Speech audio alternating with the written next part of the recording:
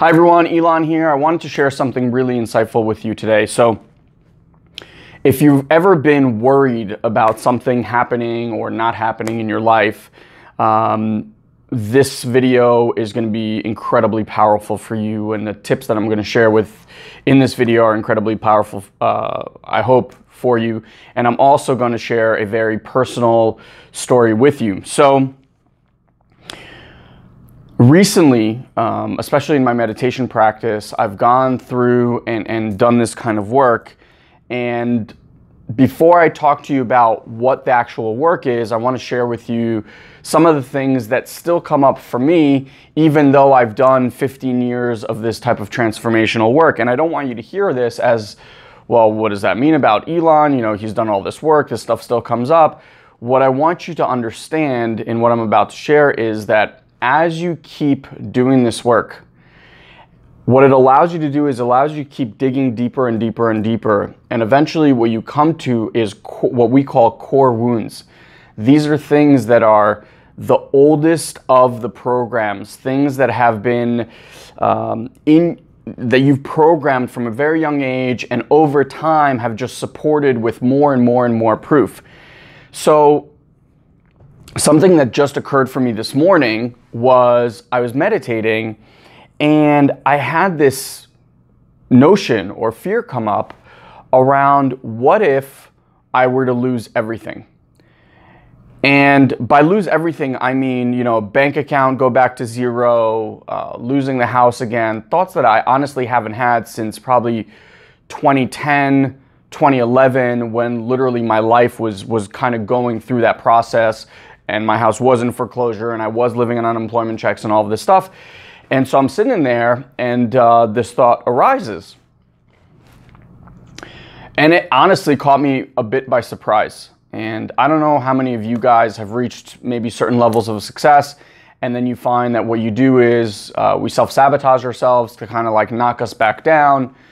And that's not, I know that a lot of people will tell you, well, that's just kind of very normal and things like that. Well, I'm, I'm here to share with you that it's not normal. In other words, it's not the way that life needs to be lived. Um, all that's happening is that the things that you worry about are manifesting. So that which you worry and think about the most, like, oh my God, if I lose this, what is that?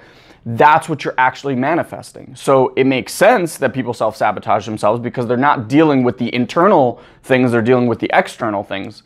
And so the practice that I want to share with you guys here today is a practice of going inwards and actually communicating with the part of you that is releasing this fear. So, what do I mean by that?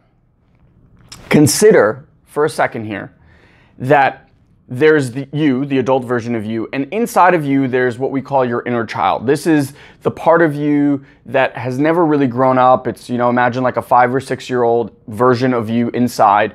And that five or six year old version, its, its job, if you will, is to keep you safe, to stop you from feeling the hurt and the pain that, that you felt at some point in your life. So, for example, coming back to me, if I were to lose everything, right? I, have kind of had, I didn't lose everything, but I had that experience of almost losing everything, right? That time you can imagine for myself and also my inner child was very, very difficult.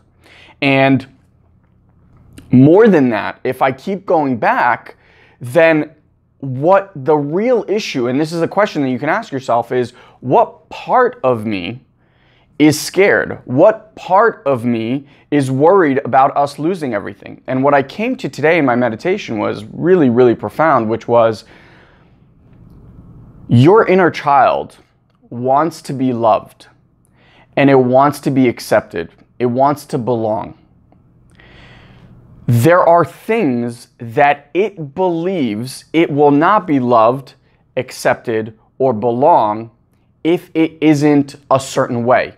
So, for example, for me, if I were to lose everything, my inner child would make that mean that I'm a loser and that everyone in my life would make fun of me and they wouldn't accept me and I wouldn't be great and all that kind of stuff. And that's what this little child believes. So now the way that I take on this practice, and this might not work for you if you're not a parent, but I'm sure you can figure out some way to do this.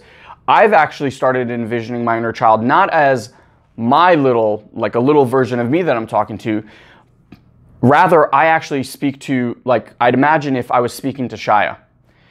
And Shia is almost six, he'll be turning six in August. And if Shia came to me and told me, you know, if, if this and this happens, I don't think you're gonna love me, or people won't love me, or I'm gonna be a loser, um, or anything like that, right?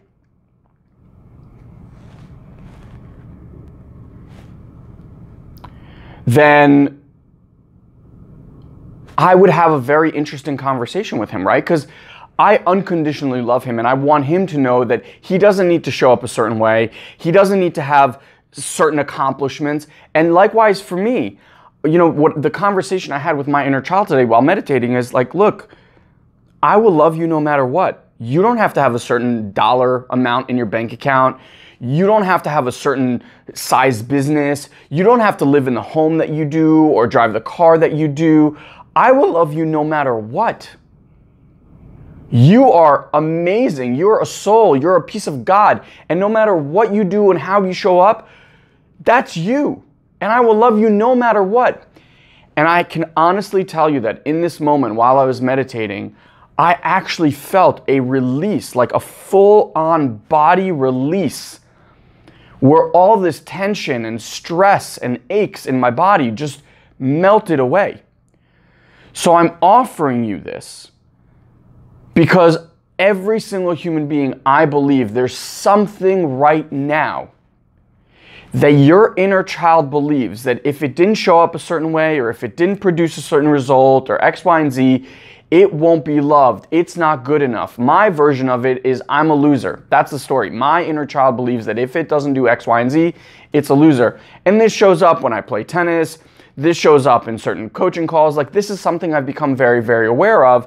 And I've, I have many, many tools that I can use in order to have these conversations. Now that stuff might never go away. Till the day I die, that stuff might never go away. And it doesn't run me. You get that?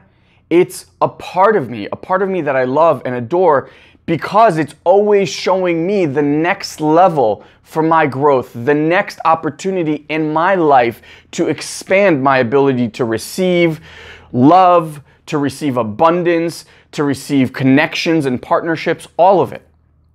And so today, I want to share with you this tool in hopes that you look at areas of your life where your inner child is hurt and scared and feels like it won't deserve love or it's not good enough or smart enough or anything else. And that you can go internal and have that kind of dialogue with your inner child as you would with a five or six year old, maybe your son or daughter, to let that inner child know that it will be loved no matter what. And in that, what you're doing is you're releasing all of these self sabotaging thoughts, all of the worries of, oh my God, what if this happens, which you end up manifesting. You release all of that and you now allow for a whole new level of abundance and creation. And you allow to receive things that are there waiting to be a part of your life. And you've just been pushing them away because of this attachment to lack and scarcity in your life. So I hope this video resonates with you and I hope that you take this practice on in your life and really start doing this internal work instead of always looking for the external things to fix and uh, change.